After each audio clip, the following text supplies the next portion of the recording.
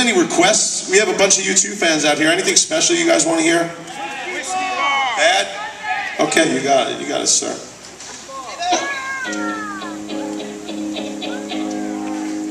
We can do that.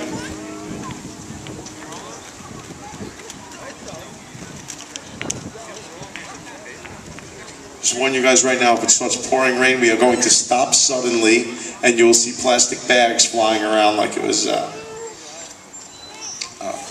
plastic bag convention. I don't know. We'll see a lot of plastic bags flying around, going on the equipment and stuff. Wow. I'm a little overtired. But we get it going for you guys. We always come back to Long Island and have a good time.